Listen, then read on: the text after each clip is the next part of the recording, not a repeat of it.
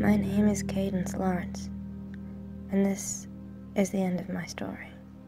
The final chapter in life as we have come to know it. I have been running from things for an awfully long time. Now I'm not running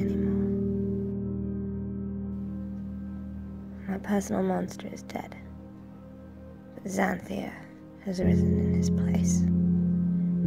She's taken my brother She's won nearly every battle, and she's nearly destroyed me. But I won't let her destroy what's left of the human race, too.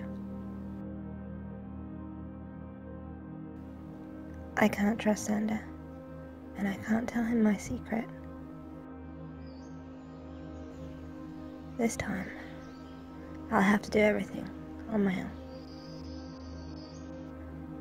This time will be the last time.